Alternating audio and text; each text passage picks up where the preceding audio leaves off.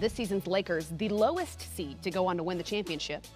This is since they began the tournament format. The Golden State Warriors, the only franchise to go undefeated with seven straight wins in 2013. It was, of course, the highly anticipated debut of the Lakers' second overall pick, and he did not disappoint.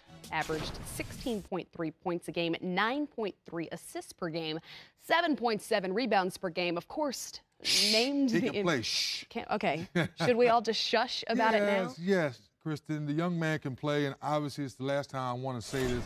Yes, the dad has brought extra height to him, but I think now this week he's proven now being around men, being around second-year players, being around overseas guys.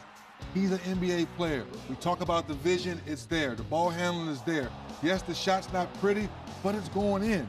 So what I'm trying to help people is Let's concentrate on what we see right now. Let him be around B. Shaw. Let him be around Luke Walton, all the coaching staff. Let him sit around and talk the game with Magic Johnson and bring the stuff out of him.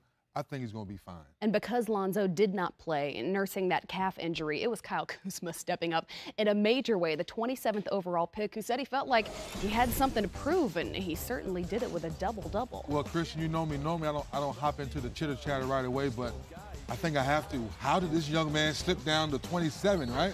How does that happen? It's because he's a late bloomer in high school, or when he was out there at the University of Utah, got a, uh, a lot of game, good games to see. But what I've seen this week, this young man should have went higher. So how exactly does it all fit together now for this projected Laker team?